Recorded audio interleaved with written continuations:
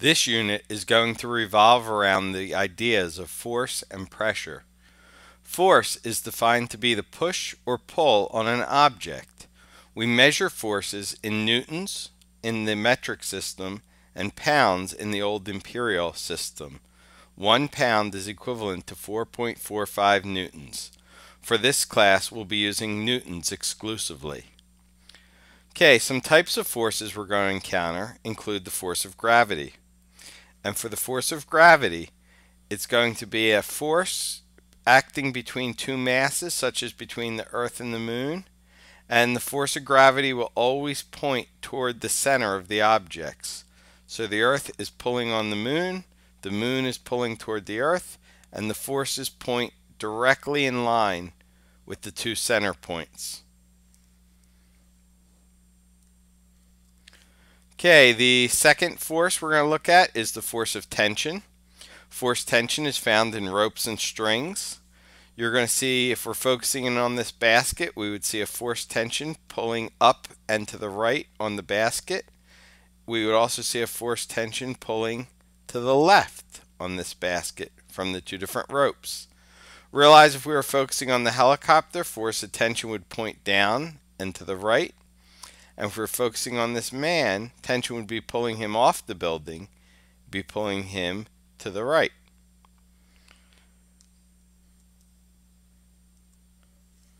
Okay, another force we have is force buoyancy. Force buoyancy is going to occur whenever you have a object in water and or any other fluid and force buoyancy points up.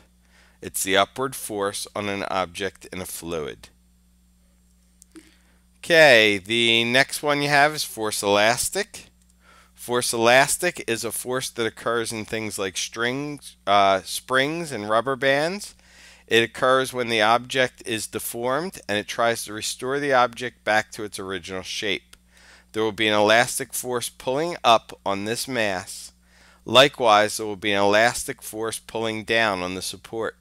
So when you stretch this spring, there will be an elastic force pulling on each end of the spring, trying to restore it back to its original shape. Okay, for this block sliding across the table, there are two new forces that are going to apply. They are force normal, and the force normal would be the force from the table pushing up on the block. Normal is a contact force, and it always acts perpendicular to the two surfaces.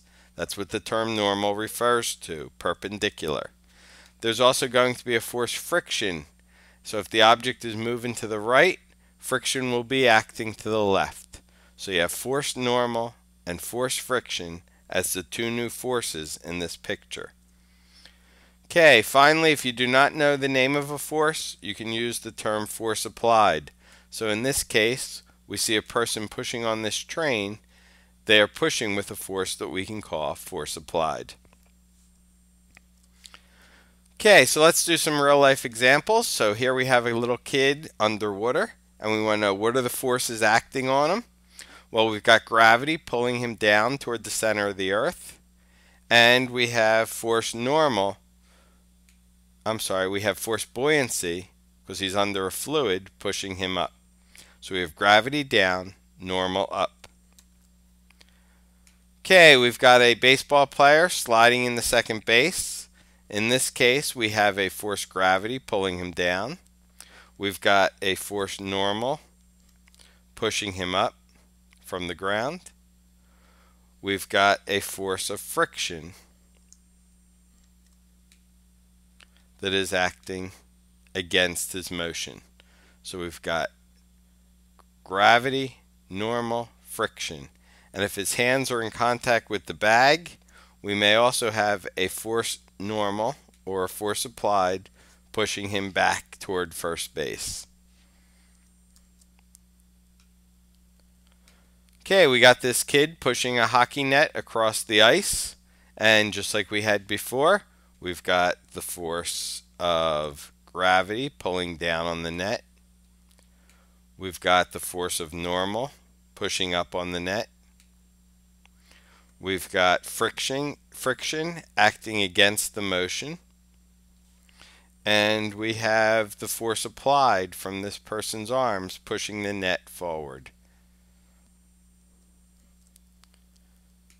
Okay, we got a baseball, uh, I'm sorry, a basketball suspended in midair, and in this case, the only force acting on it is gravity. There was a force on it when it was in the hand of the thrower, but now that the ball is in the air, the only force acting is force gravity. Okay, we got a person being uh, pulled up a uh, object using a rope, and in this case, we would have a force tension pulling them up we would have a force of gravity pulling them down.